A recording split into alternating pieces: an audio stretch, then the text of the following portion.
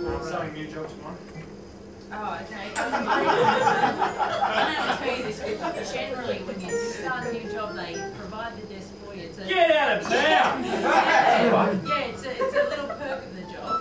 Um, you also, I don't know if you know this yet, but you also get your own chair too, so that's something to look forward to.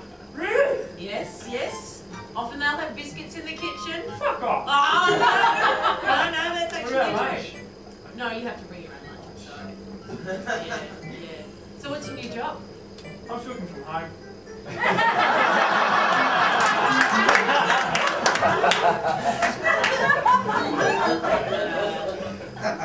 Well, then I take it all back.